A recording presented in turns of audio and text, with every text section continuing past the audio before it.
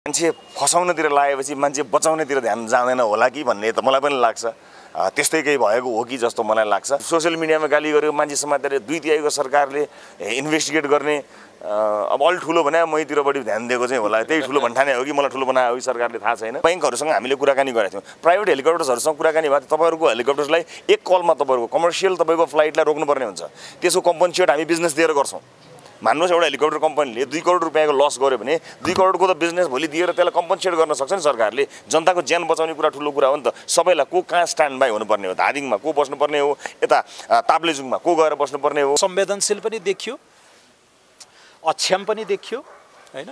र असफल पनि देखियो र अकर्मण्य पनि देखियो। पछिल्लो समय मौसम पूर्वानुमानले त्यत्रो चाहिँ भनिसक्दाखेरि पनि जबकि हामीले त्यतिखेर कसरी तयारी गरेका थियौँ इभन राजनीतिक दलका विपदसँग काम गर्ने साथीहरू समेतलाई म आफै बसेर बैठक गर्नेदेखि लिएर जनधनको रक्षाको लागि मान्छेका महत्त्वपूर्ण डकुमेन्ट गरगहनालाई ब्याङ्कको लकरसम्म पहिले राख्ने स्थानान्तरण गर्ने लगायतका कुराको तयारी गरिएको आवश्यक कार्यविधि सबै तयार गरिसकिएको सबैलाई स्ट्यान्ड बाई राखिसकेको त्यो अवस्था थियो।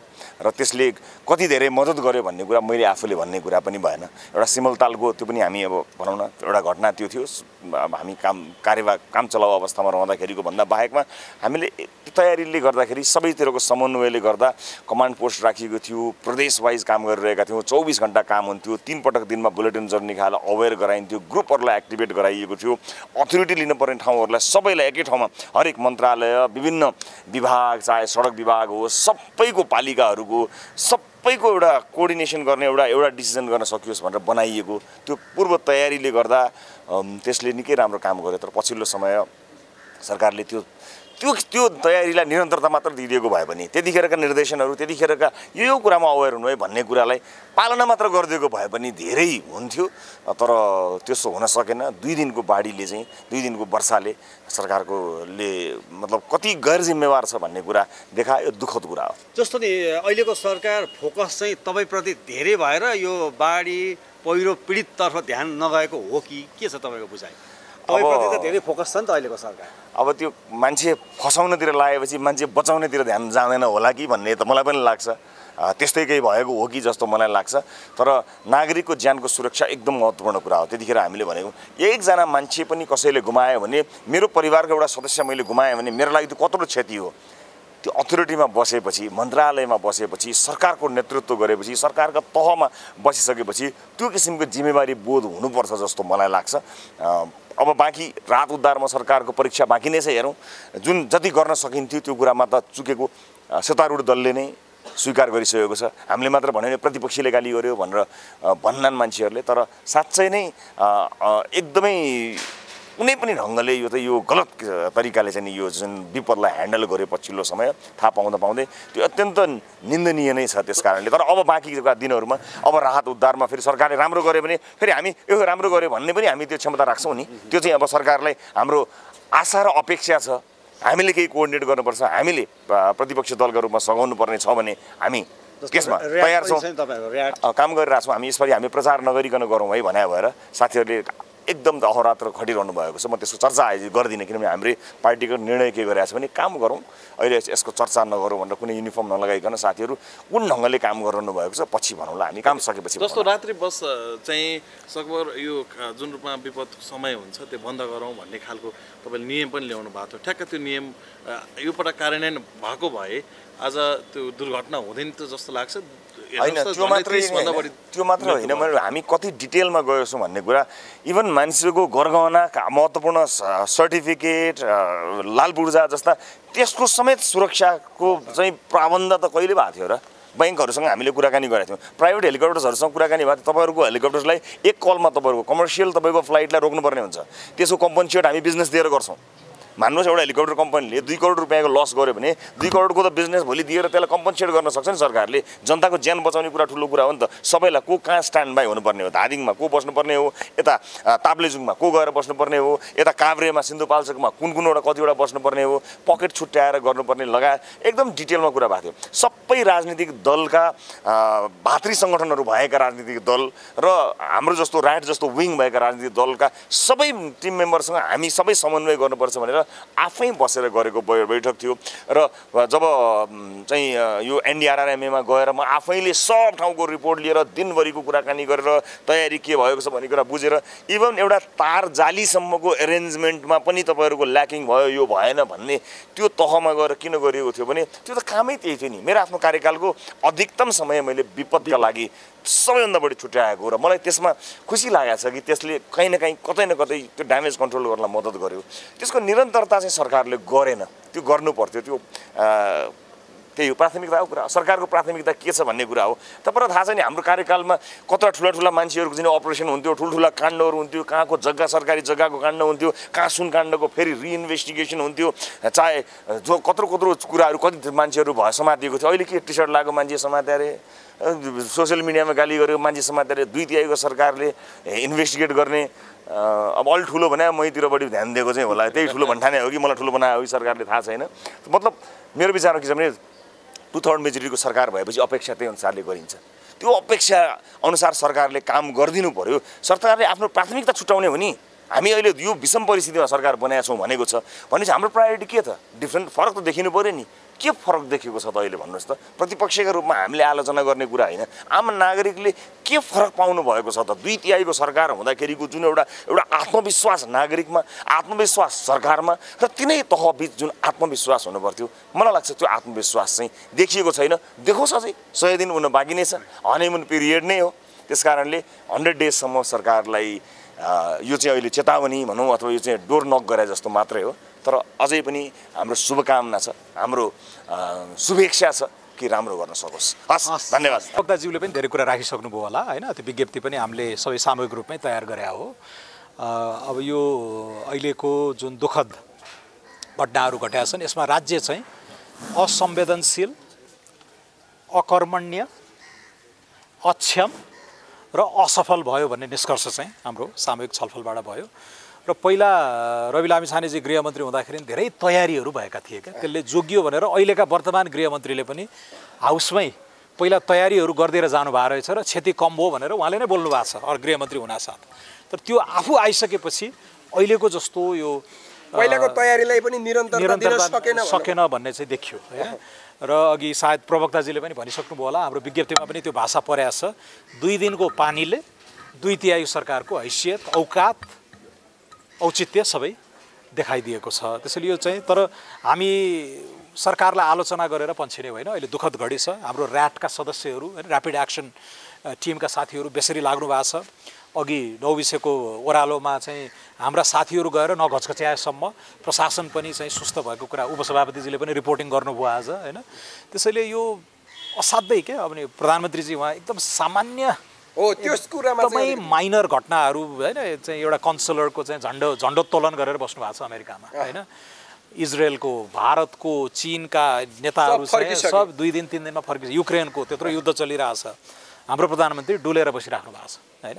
त्यसैले यो कहिलेकाहीँ मोरल उहाँ आएर आफै पौडी खेलेर उद्धार गर्ने होइन होइन? तर टप लिडरसिप यहाँ नहुँदाखेरि चाहिँ भ्याकुम हुँदो रहेछ भन्ने कुरा हामीले देखिराखेकै छौँ। मलाई बहत्तरको भूकम्पको याद आयो क्या त्यति बेला म योजना आयोगको सदस्य थिएँ। सुशील कोइराला विदेशमा हुनुहुन्थ्यो इन्डोनेसियामा हुनुहुन्थ्यो यहाँ भूकम्प गइहाल्यो वैशाख बाह्रको नि तपाईँहरूलाई थाहा छ। तुरुन्तै उहाँ भोलिपल्टै होइन अर्को फ्लाइट लिएर आउनुभयो। तर त्यति बेलासम्म त्यो पहिलो चौबिस घन्टामा सारा संयन्त्र परिचालित भइसकेको थियो। एघार छप्पन्नमा भूकम्प गयो साढे बाह्रमा गृह मन्त्रालयको त्यो आपतकालीन उसमा मिटिङ बसिसकेको थियो क्या मुख्य सचिवको त्यसैले त्यो खालको तयारी त्यो अब म- हामीले अहिलेका प्रधानमन्त्री पनि चुकेका हुन् भनेपछि यसमा चाहिँ सामाजिक सञ्जालमा मात्रै अपडेट रहने एक्सनमा चाहिँ उहाँ पनि अपडेट नरहने हो खास त्यो त देखियो। उहाँको चाहिँ अब एकदम हल्का फुल्का कार्यक्रमहरूमा चाहिँ होइन बसेर आउनु भएको छ। उहाँले गरेका अलिक गम्भीर प्रकृतिका अन्तर्क्रियाहरूमा पनि जुन राष्ट्रको चाहिँ गरिमा राख्नुपर्ने हो त्यो नराख्नु भएको टिप्पणी व्यापक भइरहेकै छ होइन। तर एकदमै माइनर झिना मसिना कार्यक्रममा अल्झिने कि होइन भ्रमण छोट्याएर हामी फर्केर आयौँ। चीन नौ दिने भ्रमणमा गयो होइन हाम्रो राष्ट्रसभाको चौध सदस्य। तपाईँको त सभापति नै पक्राउ पर्ने भनेपछि फर्किनु त्यो पनि तर परेको बेलामा त आउँदो रहेछौँ त होइन? हामी त हामी त सरकारको जिम्मेवारी सभापति भन्दा पनि देश यस्तो विपदमा परेको बेला पनि प्रधानमन्त्रीज्यूले सम्झिनु भएन त फर्किनु भएन भन्ने त्यो त्यो त्यो त्यो एकदमै जगजाहेर छ। त्यो टिप्पणी जुन समाजमा भइराखेको छ त्यसप्रति उहाँ संवेदनशील हुनु तर कार्यवाहक प्रधानमन्त्री अहिलेका गृहमन्त्री अहिलेको संयन्त्र त्यो चलाउन नसक्नु चाहिँ देखिसक्यो र मलाई लाग्छ सत्तारूढ पार्टीहरूले नै आलोचना गरिसकेका छन्। होइन? सत्तारूढ पार्टीहरूले नै यो भएन भनेर हिजो डाक्टर शेखर कोइरालाको टिप्पणी पनि मैले सुनेको थिएँ होइन। त्यसैले यो यसमा चाहिँ खास गरी कहाँनिर चुक्छ सरकार? अथवा मान्छेको भिजन नभएर चुक्छ अथवा सरकारको रणनीति नभएर चुक्छ अथवा चाहिँ क्याबिनेट नै त्यस्तै खालको बनेर नेतृत्व सबै it boils down to leadership नेतृत्व नै हुँदो रहेछ क्या।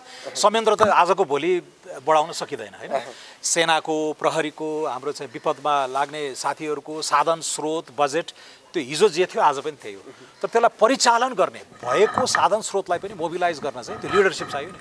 अगाडि आएर the buck stops with me म ड्राइभ गर्छु भनेर अगाडि नआएसम्म चाहिँ यो अगाडि बढ्दो रहेछ। त्यही भएर मैले त्यो बहत्तरको भूकम्पको उदाहरण दिएको क्या त्यति बेला होइन ड्राइभ गरेर ब्युरोक्रेसीले पनि राजनीतिक वृत्तले पनि स्वयं प्रधानमन्त्री पनि फर्केर आएर ड्राइभ गर्नुभएको थियो। मैले एउटा सानो कुरा जोडिहालेँ। तपाईँ योजना आयोगको सदस्यसम्म भएर बसिसक्नु भएको एउटा आफूसँग उपाध्यक्ष। अनुभव उपाध्यक्ष भएर बसिसकेको मान्छे एउटा अनुभव पनि छ तपाईँसँग।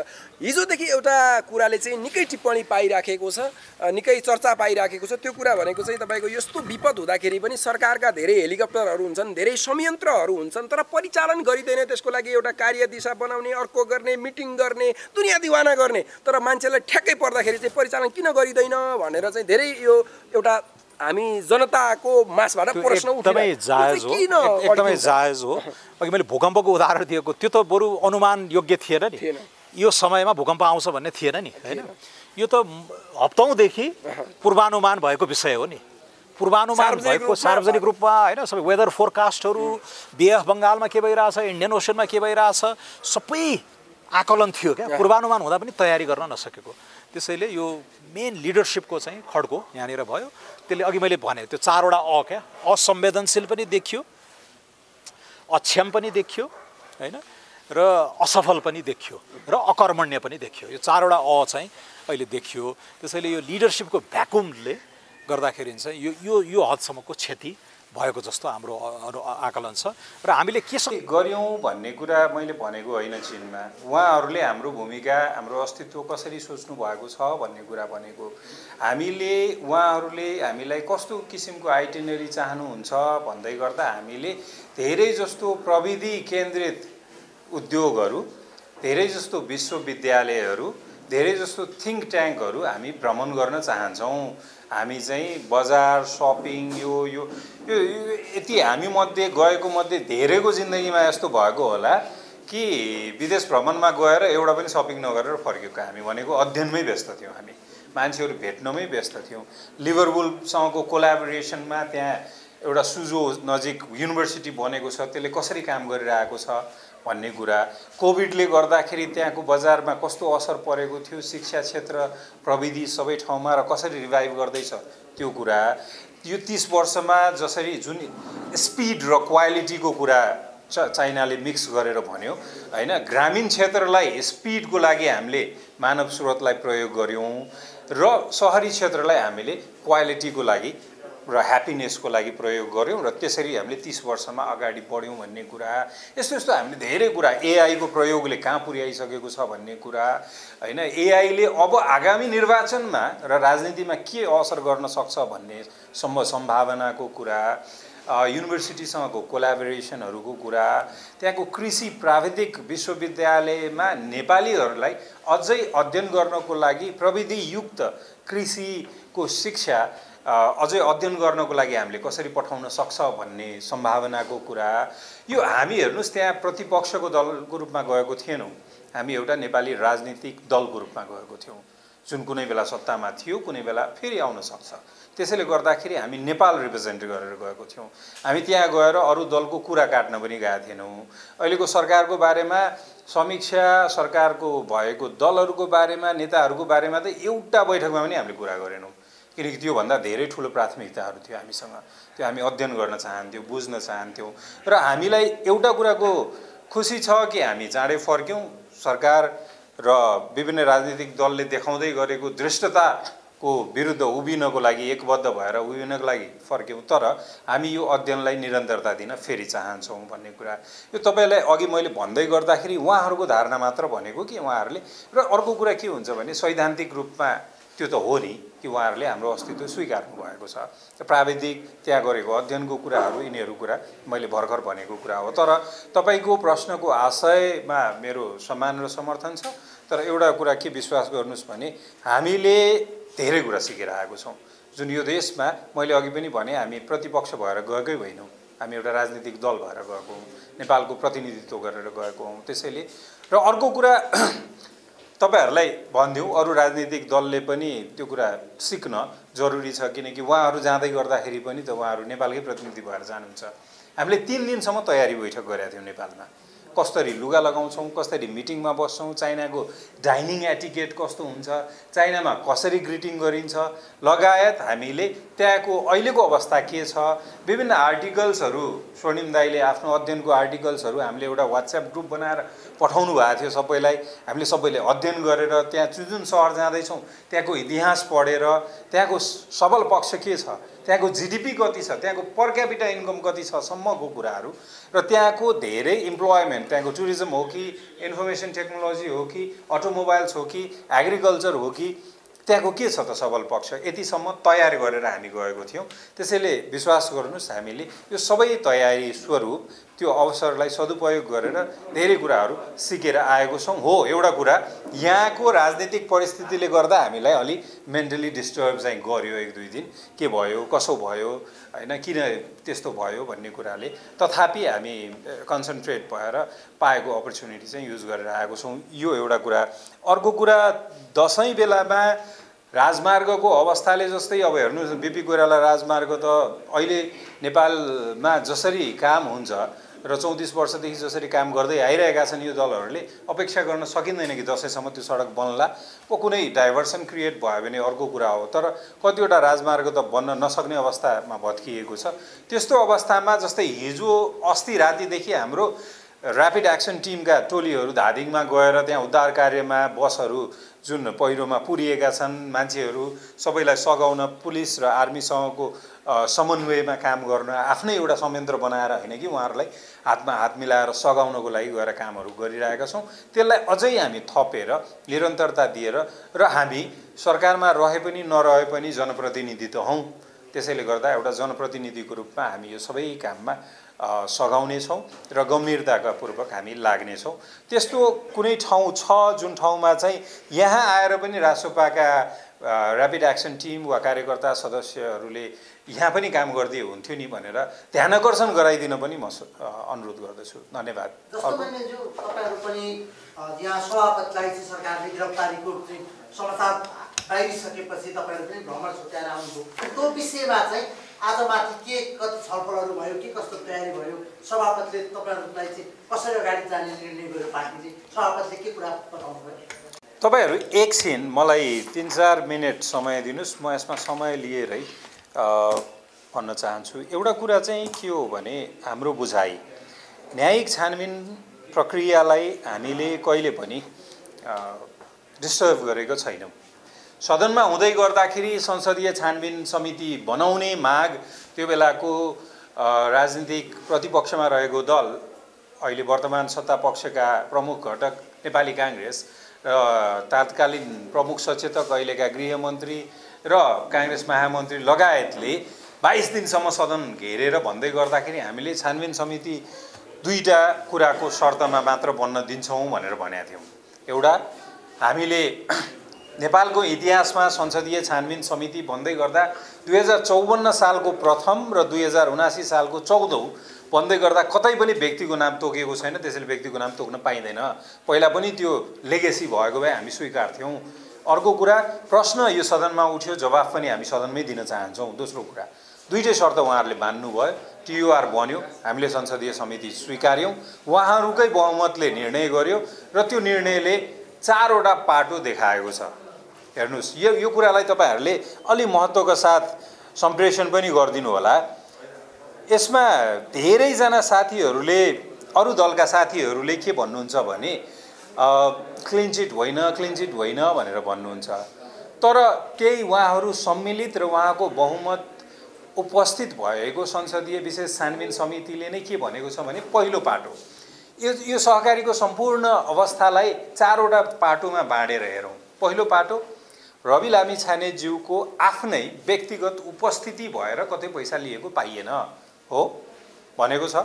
स्पष्ट हो। दाबी के थियो? प्रमाण देखाइदिउँ आफैले निवेदन दिएर एक अर्ब लिएको देखाइदिउँ भन्ने दाबी थियो।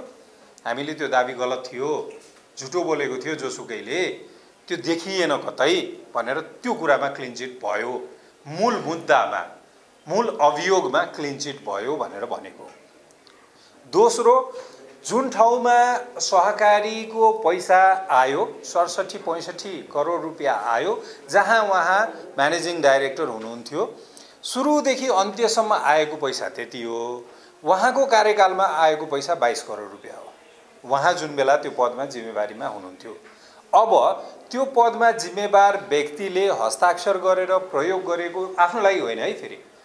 व्यवसाय वा अफिस चल सञ्चालनको लागि अपरेसनको लागि अफिस अपरेसनको लागि प्रयोग गरेको प्रयोग गर्दै गर्दा हस्ताक्षर गरेको त्यो कतै छ भने पन्ध्र प्रतिशत जुन उहाँ स्वेट इक्विटी थियो तथापि नेपाली कानुनले स्वेट चिन्दैन। त्यसैले भागीदार हुनुपर्छ भनेर दाबी छ। ल ठिक छ। उहाँको कार्यकालमा आएको पैसाको पन्ध्र प्रतिशत भागीदार के हो त त्यसो भए? न्यायिक प्रक्रियामा जाऊ न त त्यसको छानबिन गर न त एउटा निष्कर्षमा आऊ न त भनेर त्यसको लागि हामी तयार छौँ। हामीले स्पष्ट गरेको छौँ त्यो कुरा। अस्ति जुन लगभग नेपालमा पहिलोपटक होला कुनै राजनीतिज्ञको एक करोड लगभग भ्युज भएको कुनै स्पिचको त्यसमा पनि उहाँले भनिसक्नुभयो कि टुक्राएर हेरौँ न पाटो वान पाटो टू मिक्स गरेर किन कन्फ्युज गरिरहेछौ मूल मुद्दामा क्लिन चिट भएको हो कतै उपस्थित भएको छैन कसैले प्रमाण देखाइदिन्छु भनेर दाबी गरेको प्रमाण पाएको छैन केही भएको छैन प्रमाण छँदै छैन। अब तेस्रो कुरा त्यही व्यक्ति जीवी राईकै संलग्नतामा सहकारीबाट आएको पैसाहरू जुन अहिलेसम्म देखिएको छानबिन गरेकोमा सतासी अर्ब रुपियाँ आएको भनिएको छ नि।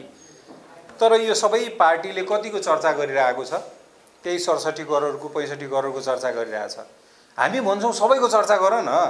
फेरि हाम्रो नगर भनेको छैन है। यो यो फेरि त्यो पनि उहाँहरूले कहिलेकाहीँ घुमाइदिनुहुन्छ। हाम्रो पनि गर। मैले सदनमै तपाईँहरूले याद होला ध्यान दिनुभएको छ भने सबैको फाइल खोल मेरो पनि खोल मेरो सभापति पनि खोल त्यो भनेको छु। तर उहाँहरू त्यो कुराहरू गर्न चाहनुहुन्न। अहिले पनि खोइ त धनराज गुरुङको चर्चा गरेको। अहिले पनि खोइ त नेपाली अरू अरू नेकपा एमालेको नेताहरूको चर्चा गरेको र कसैको श्रीमतीको कसैको केहीको गरेको हामी हाम्रो पनि गर सबैको गर भनेर तेस्रो पाटो यो हो र चौथो पाटो। यो छानबिनको क्रममा देखिएको सहकारीहरूको मात्र हेर्दै गर्दाखेरि सतासी अर्बको देखियो भने नेपालभरिको एकतिस हजार सहकारीको गर्दै गर्दा बदमासी कति देखिएला भन्ने तिन खर्बको आकलन छ। यो चौथो पाटो। हामी सबै चिजलाई किन हेर्दैनौँ? तर हामीलाई अब यो चारवटा पाटोमा इङ्ग्लिसमा के भन्छ भने if the problem is really big break it down to small pieces भन्छ।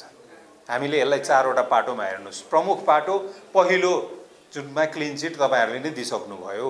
दोस्रो पाटो कानुनी प्रक्रियामा जानुहोस्। तेस्रो पाटो सतासी अर्बको कुरा गर्नुहोस् किन पैँसठी करोडमा अड्किनु भएको छ? चौथो पाटो त्यो पैँतालिस मात्र सहकारीको किन कुरा गर्नुहुन्छ? एकतिस हजारको कुरा गरौँ। यही लटमा सबै समाधान गरिदिउँ न भनेर भन्छौँ। अब आशंका के छ भने हामीलाई छप्पन्न साल फागुन बिस गते पनि यस्तै घटना भएको रहेछ नेपाल सरकारले। यो सबैको फाइल खोलौँ भनेर सडचालिस सालदेखिको सबैको फाइल खोलौँ। तर केही मन्त्रीहरूले के भन्नुभयो भने शैलजा आचार्य लगायत सबैले कि होइन तेत्तिस सालदेखिकै खोलौँ न? भन्दै गर्दाखेरि तत्कालीन प्रधानमन्त्री देउबाले मान्नु भएन। र सडचालिस साल त्यो त्योभन्दा अगाडिको सबै भ्रष्टहरूलाई क्लिन चिट दिएर पठाइदिनु भयो। त्यो बिर्सियो नेपालको इतिहासले त्यो भ्रष्टाचारहरू। कतै रवि लामिछाने रवि लामिछाने र रासोपा रासोपा भनेर यो पैँसठी करोडमा मात्र अड्किएर सबैलाई छुट दिन त खोजेको होइन उन्मुक्ति दिन त खोजेको होइन भन्ने हाम्रो आशंका छ। हामी त्यसमा सचेत छौँ। हामी सचेत छौँ फेरि रिपिट गरौँ तपाईँहरूलाई स्पष्टताको लागि यसलाई चारवटा पाटोमा हेरौँ। पहिलो पाटो जसमा रवि लामी छानेको स्वयं उपस्थिति भएर फारम भरेर एक अर्ब रुपियाँ लिएको प्रमाण देखाइदिउँ भनेर भन्नुभएको थियो। प्रमाण देखिएन। मूल मुद्दा त्यो थियो त्यसमा क्लिन चिट पाइएको हामीले मान्यौँ र त्यो हो नै। अर्को त्यहाँ त्यहाँ चाहिँ सहकारी ठगहरू भनौँ भनेर पाँचौँ बुदामा केही नामहरू उल्लेख गरेको छ। तपाईँहरूले प्रतिवेदन हेर्नुभएको छ भने। त्यहाँ रवि लामिछानेको नाम छैन। भनेपछि त्यो प्रतिवेदनले नै ठगहरूको नाम लेखेको लिस्टमा त रवि लामिछानेको नाम लेखेको छैन। अनि कसरी ठग भन्दै हुनुहुन्छ अझै? त्यो अर्को कुरा हो। तर एउटा जिम्मेवारीमा हुँदै गर्दा केही ट्रान्जेक्सन भएको थियो र त्यो ट्रान्जेक्सनको उहाँले आफ्नो कार्यकालको आफू सेयर होल्डर भएको कानुन भनेअनुसार स्वेट इक्विटी चिन्दैन। त्यसैले तिमी हौ सेयर होल्डर भन्छ भने त्यसको भागीदार के हो प्रक्रिया के हो त्यसमा अगाडि बढ्नुहोस्। हामी कानुनी रूपमा सघाउँछौँ भनेर उहाँले आफै पनि बोलिसक्नुभयो। तेस्रो बुधा सतासी अर्बको कुरा आएको छ प्रतिवेदनमै। तपाईँ पैँसठी करोडमै किन अड्किनु भएको छ? बाँकीको चर्चा किन गर्नुहुन्न भन्ने कुरा। पैँतालिसवटा सहकारीको तपाईँले छानबिन गरेर यदि देखाउनु भयो सहकारी त यो देशमा एकतिस हजारवटा छ बाँकीको चर्चा किन गर्नुहुन्न? र हाम्रो आशंका यही गोलमटोल गोलमटोल कुरा गरेर एउटा व्यक्ति केन्द्रित राजनीतिक कुण्ठा पालेर राखेर कतै सबै सहकारी अरू जुन यथार्थमा सहकारी ठगहरू छन् जो हेलिकप्टर चढेर पोखराबाट कता जान्थे अरे अमेरिका गएर भाँसिए अरे अस्ति भर्खर दिल्लीमा समातिए अरे भनेपछि यो लिस्ट बनाऊँ न। हामी त आह्वान गर्नेवाला छौँ सबै नेपाली नागरिकलाई कि तपाईँले चिन्नुभएको राजनीतिक दलको को को सहकारीमा ठगीमा आबद्ध छन् पठाउनुहोस् न। हामी उनीहरूको नाम सार्वजनिक गरेर कारवाहीको लागि आवाज उठाउँछौँ भनेर। अनि हेरौँ न रासोपाका कति छन् नेपाली काङ्ग्रेसका कति छन् नेकपा एमालेका कति छन् अरू दलका कति छन् भनेर। एकजना व्यक्तिमा खनिएर कि यो दलमा नयाँ यो यो देशमा नयाँ दल आउन नपाउने हो। हामीले काम नपाएर आएको हौँ। चौतिस वर्षदेखि उहाँहरूले देश चाहिँ राम्रो बनाइदिएर अनि हामी चाहिँ प्रतिस्पर्धा गर्न आएको हौँ। होइन नि? उहाँहरूले गलत गरेर हामी आएको त्यसैले गर्दाखेरि यसमा चाहिँ सहकारीको कुरामा हामी स्पष्ट चारवटा बुदामा बाँडिएर हामी आज निष्कर्षमा छौँ र यसअनुसार उहाँहरूलाई अगाडि बढ्न अनुरोध गर्न चाहन्छौँ। है केही पत्र पत्रिकाले पक्राउ पुर्जी जारी भइसक्यो म म पक्नु न पक्नु न पक्नु किन नगरौँ मिडियाको कुरा किन नगरौँ यदि पक्राउ पुर्जी जारी हुन्छ भने मेरो प्रश्न चाहिँ के भने यदि पक्राउ पुर्जी जारी हुन्छ भने अनुसन्धान गर्न रवि लामी छानेले पक्राउ गर्नै नहुने हो त मेरो होइन प्रश्न यही हो त त्यो होइन होइन। पक्नुहोस् पक्नुहोस् म म हुँदैन हुँदैन। एउटा कुरा एउटा तपाईँको तपाईँको प्रश्न बुझिसकेँ। तपाईँको प्रश्न बुझिसकेँ। खाता कसको भनेर पनि प्रश्न उठाइरहेको होला सञ्चार माध्यमले नै उठाइरहेको होला होइन। हो प्रश्न सोधिसक्नु भयो। प्रश्न पार्न दिनुहोस् न त अब होइन? त्यसमा के हो भने कानुनी प्रक्रिया अनुसार पक्राउ पुर्जी अदालतले जारी गरेर पक्राउ पुर्जीको कारण स्पष्ट रूपमा देखाएर त्यो सबै प्रक्रिया अनुसार हुन्छ भने त हामीले कहाँ नाइ भनेका छौँ र? होइन? झुक्याएर छक्याएर झेल्ली गरेर चाहिँ पाइँदैन भनेको। तर पख्नुहोस् न। पख्नुहोस् न बिचमा नबोल्नुहोस् न है? तपाईँले बिचमा बोल्दै गर्दा स्पष्ट हुँदैन धेरै कुरा। अर्को कुरा के हो भने तपाईँको अस्ति नै पनि त केही समाचार माध्यमहरूमा के आयो कि यो वकिलले यो न्यायाधीशले पक्राउ पुर्जी जारी गरिसकेको छ भन्ने आयो नि होइन?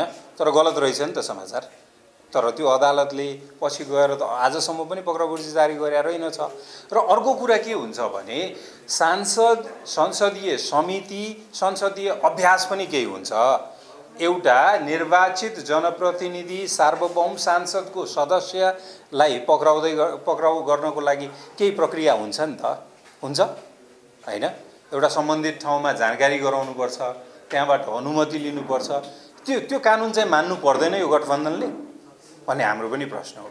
हामीले कहाँ भनेको छौँ र कि तपाईँले समात्नै पाउँदैन तर तपाईँले प्रक्रिया पुरा गर्नु पर्दैन र भन्ने हाम्रो प्रश्न हो। र अर्को कुरा मैले अघि नै भनिसकेँ कानुनी प्रक्रियामा हामी सघाउँछौँ प्रक्रियागत रूपमा अगाडि आउनुहोस् न हामी बन्देज लाउँदैनौँ होइन? हामीले त्यो अस्ति पनि तपाईँले देखाउनुहोस् त कसैले। मैले ट्विट गरेर बोलाएको मान्छे मैले फेसबुकमा लेखे हो होइन नि। कोही आउँछ तर प्रक्रियागत रूपमा योभन्दा अगाडि रवि लामिछानेलाई नसमातेको हो र स्टुडियोमै गएर बुट बजार्दै समात्या होइन र त्यसैले गर्दाखेरि त्यो बेला त खोइ रोक्यो। नागरिकताको प्रकरणमा उहाँको उहाँको पद नै जाँदै गर्दाखेरि परिकल्पना गर्नुहोस् त। नेपालको कुनै पनि राजनीतिक दलको अध्यक्षको वा सभापतिको पद त्यसरी जाँदै गर्दाखेरि सबै कार्यकर्ता चुप लाएर बस्या हुन्थ्यो। हामीले के गर्यौँ हामी त स्वी स्वीकार्यौँ। हामीले त उपनिर्वाचनको तयारीतिर गयौँ। कानुनलाई नस्वीकार्यो हो र? होइन? अहिले आएर त कानुनै स्वीकार्दैन यिनीहरूले भने जस्तो गर्नुहुन्छ। तपाईँहरू भन्नुहोस् न म दावी गर्छु कुनै राजनीतिक दलको सभापति वा अध्यक्षको त्यसरी रातारात पद जाँदै गर्दाखेरि चुपचाप अर्को उपनिर्वाचनको तयारीमा कार्यकर्ताहरू जान्थे र यो देशमा? कतिवटा नगर र जिल्ला बन्द हुन्थ्यो। टायर बल्थे असु ग्यास हुन्थ्यो राजमार्ग बन्द हुन्थ्यो तर हामीले त केही पनि गरेनौँ। हामीले मौन भएर कृपया सबै शान्त भइदिनुहोस् चुनावको तयारी गरौँ भनेर भन्यौँ। कानुन माने होइन र त्यो। कसरी बिर्सिनुहुन्छ तपाईँहरू विगत? हामीले त कानुन माने होइन र। त्यसैले गर्दा यसपालि पनि मान्छौँ। तर त्यसको प्रक्रिया छ नि। सांसदलाई समात्दै गर्दाखेरि सभामुखलाई जानकारी गराउनु पर्दैन। एउटा कुनै अनलाइनले लेखिदिएको भरमा पक्राउपुल्जी हुन्छ पछि त समाचार डिलिट गर्यो त्यसलाई पत्याउने। अहिलेसम्म त प पक्राउपुल्जी जारी भएकै रहेनछ। प्रक्रिया त उहाँहरूले पुर्याउनु भएको छैन भन्ने देखियो नि त। र अर्कोलाई समात्यो अर्कोलाई कुन प्रक्रियाकोले समात्यो भन्ने सबैको जिम्मेवारी हामी किन लिन्छौँ? होइन? हामी आफ्नो नेताको जिम्मेवारी लिन्छौँ। होइन? र त्यसमा त्यसमा एउटा कुरा त्यसमा एउटा कुरा त्यसमा चाहिँ छवि छविजीलाई होइन? छविजीलाई जुन प्रक्रियाले जसरी समातिएको छ त्यसको विरोध पनि हामीले गरिरहेछौँ। त्यसमा प्रक्रिया पुगेको छैन है। तिमीहरू र त्यो हाम्रो आशंका के छ भने उहाँलाई समात्नु पनि यता यतातिरको अहिले तपाईँकै अगाडि गर्दैछु त। होइन सबै सबै कानुनमा हामीले अन्तर इन्टरफेयर गर्नु मिल्दैन। होइन? सबैमा मिल्छ। र प्रक्रियागत रूपमा हामीले विरोध गर्छौँ नि त त्यो। होइन? जस्तै छविजीलाई कुन आधारमा गर्नुभयो? र अर्को कुरा छविजीको उतातिर बयान नै लिएको छैन। बिदाको दिन परेको छ यता अर्को समाचार पत्रले चाहिँ लेखिसक्यो। त्यो पनि त गलत थियो। त्यसको पनि विरोध गर्यो हामीले। विरोध गर्यौँ नि? देख्नु भयो नि विरोध गरेको। पोस्ट सबैले गरेको छौँ कि यो गलत भइरहेछ है? बिदाको दिनमा बयान लिँदैन बयान लिएकै छैन अरू उतातिर चाहिँ अर्कोले फ्रन्ट पेज न्युज लेखिसक्यो। त्यो त गलत अभ्यास हो नि। अनि अर्को दिन गएर कुनामा यत्रो सच्याइएको भनेर लेखिदिनुहुन्छ। तर ड्यामेज त ड्यामेज भइसकेको हुन्छ। त्यसैले त्यसैले म पनि मिडिया बुझेको मान्छे हो। लगभग पाँच वर्ष मिडियामा काम गरेको मान्छे हो। त्यसैले मैले मिडियाको धर्म थाहा छ मलाई। अनि उहाँहरूलाई पनि अनुरोध कि तपाईँहरूले सचेत गराउनै पर्छ। यो लोकतन्त्र जीवित नै मिडियाकोले गर्दाखेरि छ। तर मिडिया फेरि पित पत्रकारितातिर नगइदिनुहोस् न भन्ने अनुरोध पनि छ हाम्रो। ड्यामेज गरिदिने अनि भोलिपल्ट सच्याइएको भनेर कुनामा लेखिदिने त त्यो त राम्रो हुँदैन नि। ड्यामेज त भइसकेको हुन्छ। ल अर्को केही प्रश्न छ? धन्यवाद। राजसपाको भनौँ अझै गरी केन्द्रीय समितिको बैठक छ के भयो आज के के भयो कुराकानीमाथि? विशेष गरी अहिले भइरहेको यो जुन तिन दिनदेखि भइरहेको जुन वर्षा छ यो वर्षा र अनि सरकारले गरिरहेको यसको व्यवस्थापनको विषयमा छलफलहरू गऱ्यौँ र त्यसको मलाई लाग्छ अब केही बेर अगाडि प्रवक्ताले सार्वजनिक गरि पनि सक्नु भएको छ। अब यो सरकारले एउटा हामीले चाहिँ जुन दुई तिहाईको दम्ब र जुन चाहिँ एउटा नम्बरको उहाँहरूले दम्ब देखाइराख्नु भएको थियो दुर्भाग्य दुई दिनको वर्षाले उहाँहरूको दुई तिहाईलाई चाहिँ एउटा चुनौती दियो जस्तो लाग्छ। व्यवस्थापनमा अत्यन्तै चुकेको देखिन्छ। मलाई जानकारी भएअनुसार सातै बजेदेखि गृह मन्त्रालयको प्रशासन घरमा पुगेर सुत्यो। तर नागरिकहरू उद्धारको लागि पर्खाइ पर्खिरहे रातभरि तडपिरहे। काठमाडौँ यही अहिले हामी बसिरहेको ठाउँबाट करिब नौ किलोमिटरमा भएको झ्याप्ले खोलाको अवस्था अझै पनि बाटो खोल्न सकेको अवस्था छैन। र यति नजिकसम्म पनि सरकारको आँखा र सरकारको क्षमता व्यवस्थापन पुग्दो रहन्छ आफूसँग भएको स्रोत र साधन पनि प्रयोग गर्न सकेन। यी कुराहरूलाई हामीले आजको बैठकमा पनि छलफल गऱ्यौँ र त्यसमा निष्कर्ष पनि निकालेका छौँ भने अरू चाहिँ हाम्रो राष्ट्रिय महाधिवेशन चितवनमा गर्ने गरी आज स्थान चाहिँ हामीले तोकेका छौँ।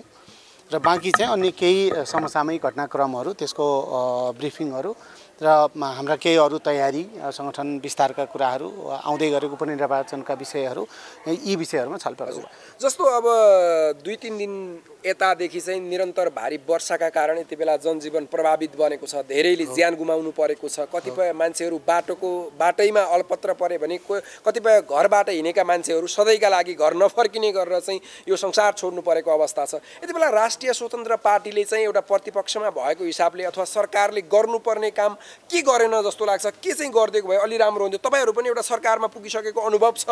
अब चाहिँ सरकारले के कुरामा चाहिँ ध्यान दिनुपर्छ जस्तो लाग्छ? सबभन्दा पहिला राष्ट्रिय स्वतन्त्र पार्टी पार्टीको देशैभरिको आफ्नो हाम्रो नेटवर्कलाई परिचालन गरेर हामीले उद्धारमा हामीहरू आफू पनि खटिरहेका छौँ। यसमा हिजो बिहानैदेखि म आफै नेपाल सरकारका विभिन्न निकायहरूसँग सम्पर्कमा रहेर राति अबेरसम्म पनि काम गरिरहेको थियौँ र मैले आज बिहान मात्रै म आफै पनि धादिङको अ, जाप्ले खोलामा आफै पनि पुगेर बिहान डिजीसँग कुरा गर्नेदेखि लिएर गएर स्रोत साधन छिटो पठाइदिनका लागि सिडिओसँग एसपीसँग सबै कुराकानी गरेर त्यहाँको समन्वय पनि गरेर आएँ। र अब सरकारले सबैभन्दा ठुलो कुरो सरकारसँग स्रोत साधन छ। किन यो अघि भर्खर तपाईँकै प्रश्नमा आएअनुसार हामी पनि सरकारमा केही समय बसेर आएको हुनाले सरकार केही नभएको एउटा तन्डम अवस्थामा होइन। सरकारसँग भएको स्रोत र साधनलाई चाहिँ प्रयोग गर्न जानेन परिचालन गर्न जानेन। यो चाहिँ घटना हुँदैछ भन्ने कुरा मौसमविदहरूबाट धेरै अगाडिदेखि भनिरहेको कुरा थियो। त्यही पनि हुँदाहुँदै तुरन्त बैठकहरू कल गर्न सकिन्छ। भइसके पछाडि भन्ने उद्धारको लागि हो। चासोको विषय यही रहेको छ। यो पूर्व अनु के भन्छ मौसम पूर्व अनुमान महाशाखाले चाहिँ पहिल्यैदेखि जानकारी गराइराखेको थियो। एकदम सामान्य मान्छेले पनि अब चाहिँ पानी पर्नेवाला छ यति यति जिल्ला चाहिँ एकदम सङ्कटमा छ ध्यान दिनुपर्ने छ भनेर सूचना आइसकेको थियो। तर पनि सरकारले किन चाहिँ यो कानमा तेल हालेर बस्यो एउटा आपतकालीन टिम खडा गर्न सकेन भन्ने सबैको प्रश्न होइन यो चाहिँ यो मैले अघि सुरुमा नि भने व्यवस्थापन भन्ने कुरा अत्यन्तै महत्त्वपूर्ण र अन्त अत्यन्तै चलाखीपूर्ण तरिकाबाट गर्नुपर्ने हुन्छ। यो बौद्धिक क्षमता हुनुपर्छ यसमा। यो सरकारको चाहिँ अक्षम अक्षमता हो उहाँ सक्षम हुन सकेन। सरकार चाहिँ सक्षम हुन सकेन अनुमान लगाउन सकेन अथवा अरूलाई टेरेन अरूको कुरा पत्याउन सकेन र आफैलाई मात्रै अब जो नेतृत्वमा बसेका छन् उनीहरूले आफूलाई मात्रै सर्वे सर्वा ठाने। किनभने मौसम भन्ने कुरा तपाईँ हामीले पनि साधारण रूपमा पनि अहिले अनुमान गर्न सकिन्छ। साधारण मोबाइलले दिएको कुराहरूमा पनि कति पचास साठी सत्तरी अस्सी पर्सेन्ट मिल्न सक्छ भने मौसम विज्ञहरूले चाहिँ दिएको कुरालाई पनि सरकारले चाहिँ यसलाई चाहिँ नजरअन्दाज गर्यो भन्ने मलाई लाग्छ। त्यस कारणले यो सरकारको चाहिँ जुन असक्षमता जुन देखाउनु पर्थ्यो त्यो अनुमान गरेकै कुरा हो। हाम्रा लागि यसलाई मैले पोलिटिकल रूपमा लिइरहेको छैन। नागरिकले बुझ्यो नि त नागरिकले देख्यो नि त यति त गर्न सकिन्थ्यो भन्ने कुरा तपाईँ हामीले पनि अनुमान गर्न सक्ने कुराहरू पनि गर्न सकेन। एकजना मान्छेले तिनजना व्यक्ति बताइरहेछ भने सरकार भन्दैछ हामीले सकेनौँ भनेर। होइन सरकारले त्यति पनि अपडेट छैन कि मान्छे बचिसक्यो भन्ने कुरा चाहिँ सरकारलाई अपडेट छैन। होइन यो दुर्भाग्य हो। त्यस कारणले यो चाहिँ असक्षमता हो। अब अझै पनि यो जुन चाहिँ यो विपदको घडी टरिसकेको छैन कतिपय मान्छेहरू उद्धार भइराखेको छ कतिपय बेपत्ता हुनुहुन्छ खोजी कार्य जारी छ र पुराना दलहरूले त भन्ने मात्रै हुन् भने पनि गर्दैन भन्ने खालको जनताहरूमा पनि त्यो परेको छ। तर रासोपाबाट चाहिँ केही अपेक्षा नयाँ गरेका छन् जनताहरूले केही गर्न सक्छ कि अथवा केही गर्छ कि भन्ने छ केही त्यस्तो प्लान बनाउनु भएको छ यसको लागि चाहिँ जो अहिले यो भवितव्य आइलागेको छ?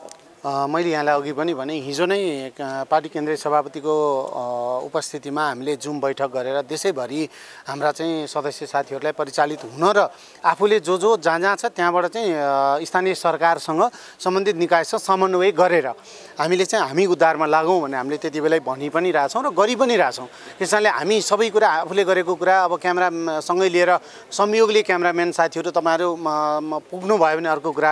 मैले अघि पनि भने म आज बिहानै तपाईँको चाहिँ म पुगेको थिएँ तर मैले त्यहाँ तपाईँहरूलाई जानकारी दिएको थिइनँ तपाईँहरूलाई थाहा छैन। त्यस कारणले हाम्रो उद्देश्य भनेको हामी चर्चा परिचर्चा कमाउनु होइन। विशेषतः पहिला काम गरौँ। काम गरिसकेपछि जनताले रियलाइज गर्छ जनताले महसुस गर्ने काम गरौँ भन्ने नै हो। कामै गर्न भनेर आएका हौँ। त्यस कारणले हामीले आज बैठक बोलाएको पनि केन्द्रीय समिति बैठक पनि अलि अगाडि थियो हामीले यो बैठक निर्णय भएको पनि वर्षा सुरु हुँदै गर्दा हामीले निर्णय गरेका थियौँ। त्यस कारणले यही के गर्न सकिन्छ? सरकारलाई कसरी सूचनाहरू दिन सकिन्छ? कसरी झकझगाउन सकिन्छ? आज पनि सर्वदलीय बैठकमा हामीले बैठक हुँदाहुँदै केन्द्रीय समिति बैठक चल्दा चल्दै पार्टीका उपनेता संसदीय दलको उपनेता विराज भक्त श्रेष्ठलाई हामीले सार्वजनिक यो सर्वदलीय बैठकमा पठायौँ। त्यस कारणले हाम्रो प्रयास भनेको चाहिँ तपाईँको हामीले आफूले गर्न सक्ने त गरिहाल्छौँ। किनभने हामी सरकारमा नभएको कारणले हाम्रा सीमित एउटा हाम्रा चाहिँ क्षेत्रहरू हुन्छ जुन चाहिँ हामीले गर्न मिल्ने नमिल्ने समन्वय गर्दा गर्दै हामीले चाहिँ गर्न नसकिने कुराहरू हुन्छ चाहेर पनि। त्यस कारणले सरकारलाई हाम्रो सु सुझाव हो हामीले दिइ पनि रहेका छौँ। सम्बन्धित निकायसँग मैले अघि पनि भने म गृह सचिवज्यूसँग म उद्धारको चाहिँ तपाईँ प्रवक्ताज्यूहरूसँग मैले चाहिँ जिल्ला जिल्लाका सिडिओ साहबहरूसँग मैले कुरा गरिरहेको छु। गरेको छ हाम्रो के सहयोग चाहिन्छ हामी तयार छौँ।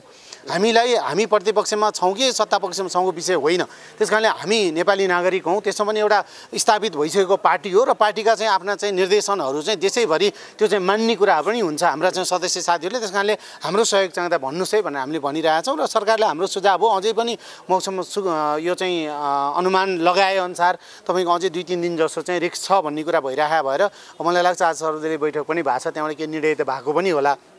हामी चाहन्छौँ जनताले चाहिँ एउटा सरकार भएको महसुस गर्ने गरी काम गरिदिनुहोस्। हाम्रो शुभकामना छ र हाम्रो सहयोग तपाईँहरूलाई निरन्तर हुन्छ भन्ने र जनतालाई हामीले केही गर्नुपर्छ भने जनताको लेभलबाट हामीलाई पनि सम्पर्क गर्न हामीले सम्पर्क नम्बरहरू पनि दिइरहेछौँ र हाम्रा सबै सबै जिल्लाका साथीहरूलाई हामीले परिचालित गरिसकेका छौँ। अन्तिममा मेरो एउटा प्रश्न जस्तो केही दिन अगाडि राष्ट्रिय स्वतन्त्र पार्टीका सभापतिजीलाई कुरा पक्राउ गर्ने कुरा बाहिर आयो त्यो हुल हुज्जत नै भयो भरे यो उसमा चाहिँ टेक्न समेत ठाउँ थिएन। धेरै मान्छेहरूको भेला भयो। त्यसले चर्चा परिचर्चा पायो तर अहिले चाहिँ त्यो घटना चाहिँ सेलाउँदै गएको छ। आज चाहिँ केही त्यसको बारेमा केही कुराहरू भयो केन्द्रीय समितिमा अथवा के लिनुभएको छ तपाईँहरूले एक्सन होइन सरकारको गैर जिम्मेवार पन हो जुन चाहिँ जो जुन देखायो।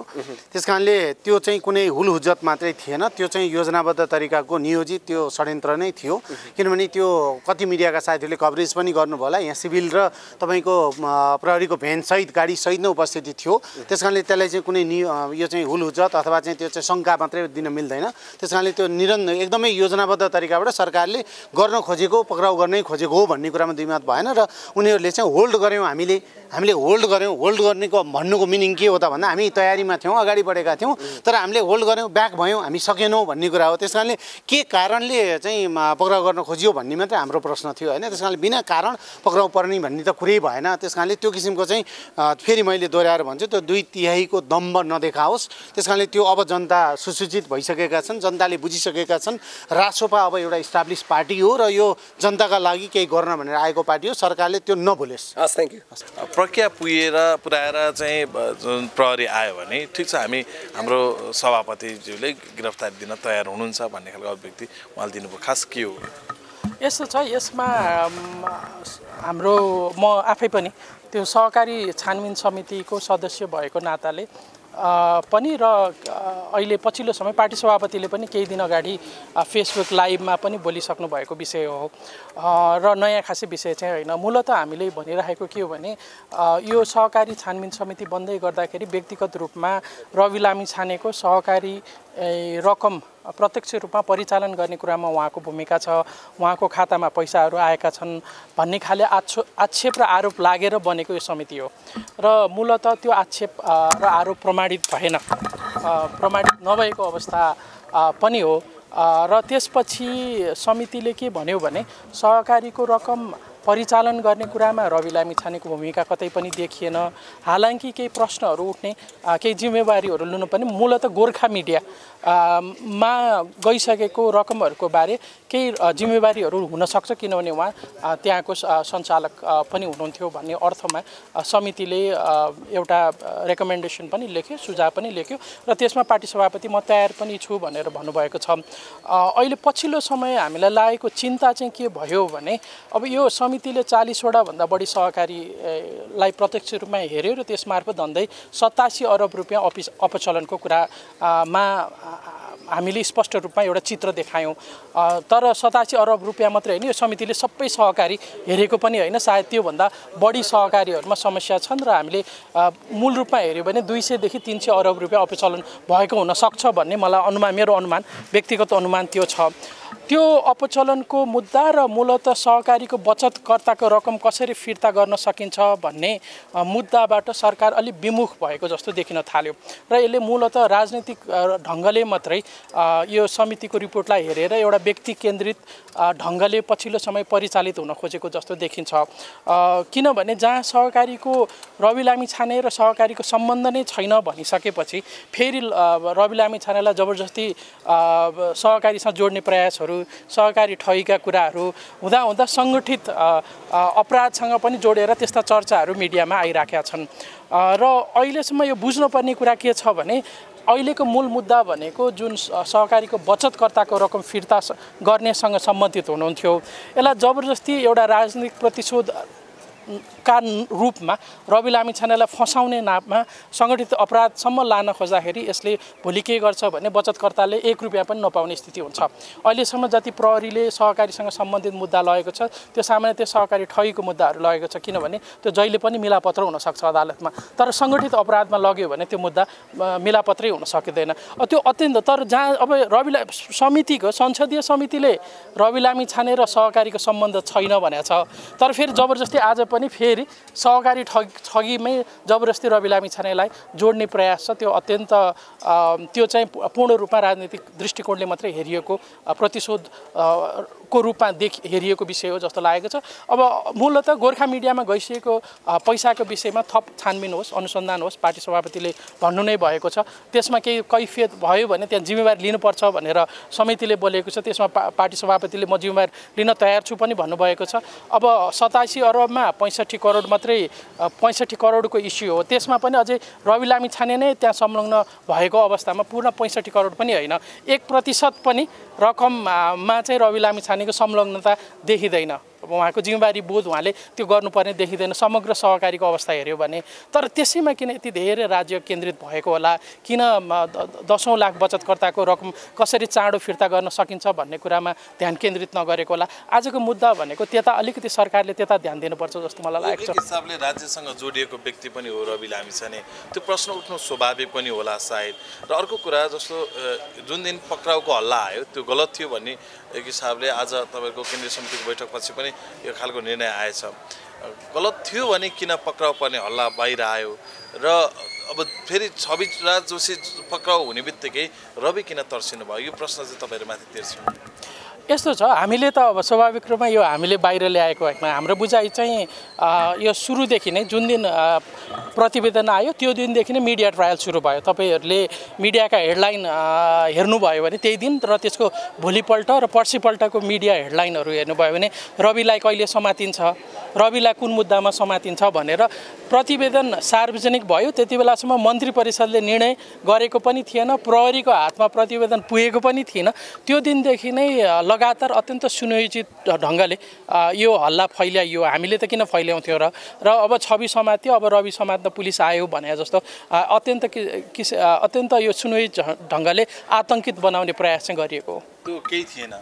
आज यदि जस्तो कानुनगत रूपमा फेरि तपाईँलाई पनि यो प्रश्न किनकि तपाईँले पनि त्यहाँ हस्ताक्षर गर्नुभएको छ जुन प्रतिवेदनमा रवि लामिछाने सहितलाई कारवाही होस् भन्ने खालको प्रतिवेदन। कतिपयले यसमा चाहिँ चित्त नबुझे यो समितिमा जाने त तपाईँको राष्ट्रिय स्वतन्त्र पार्टीबाट तपाईँ जानुभएको थियो। नोट अफ डिसिसन पनि लेख्न सक्नुहुन्थ्यो। किन लेख्नु भएन भन्ने प्रश्न तपाईँलाई छ भने अर्को चाहिँ के छ भने अब यदि रवि लामिछानेलाई पक्राउ गर्ने तौरबाट प्रहरी आयो सबै कुरा प्रक्रिया पुरा गरेर आयो भने तपाईँहरूले रवि लामिछानेलाई पक्राउ गर्ने त्यो अनुमति दिनुहुन्छ। किनकि पार्टीले छेक्यो भन्ने हल्ला छ। छैन।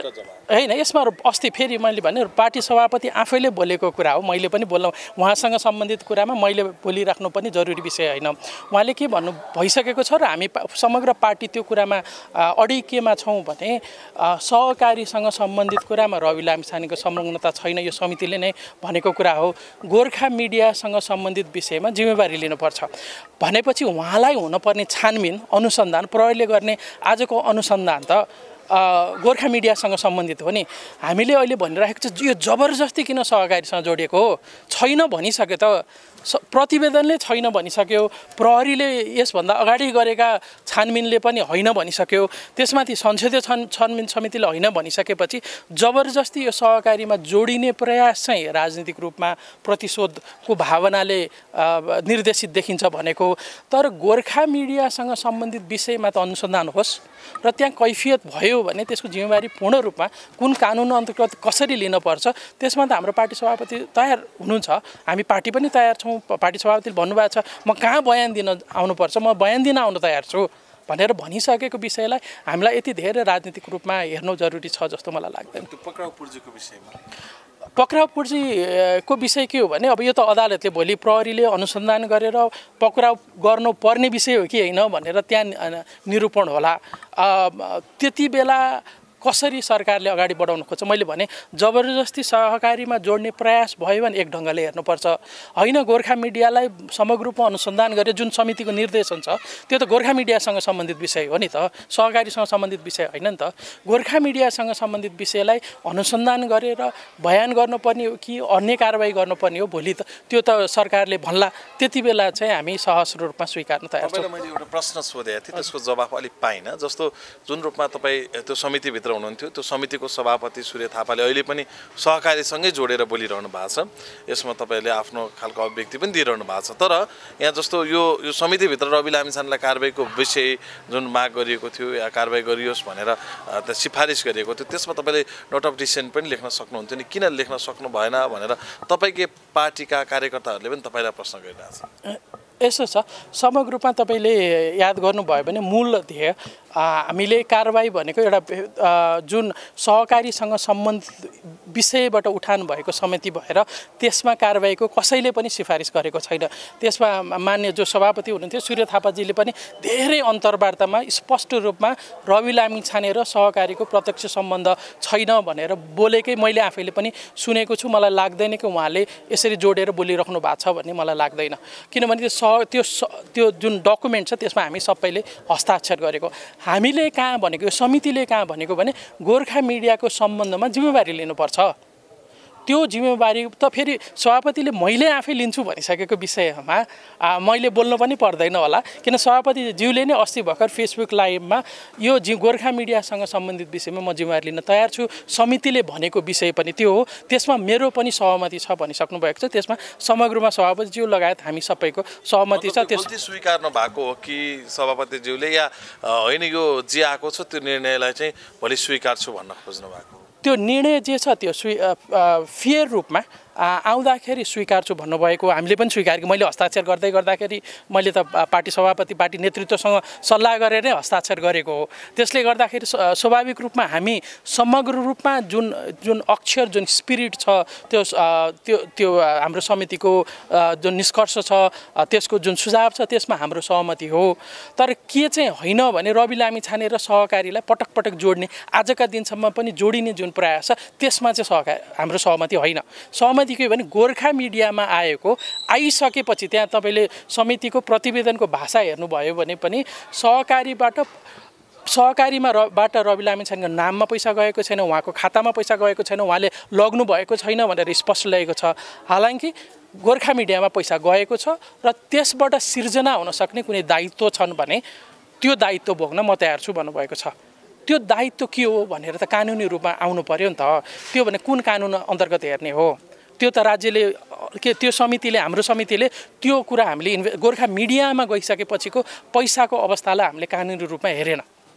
त्यही भएर हामीले त्यसलाई सरकारलाई के भन्यो भने तिमीहरू हेर है यहाँ पैसा आएको त देखियो तर त्यसबाट केही कानुनी दायित्व सृजना हुन्छ भने त्यसको जिम्मेवारी रवि लामिछाने लिनुहुन्छ लिन्छु भनिसक्नु भएको विषय हो।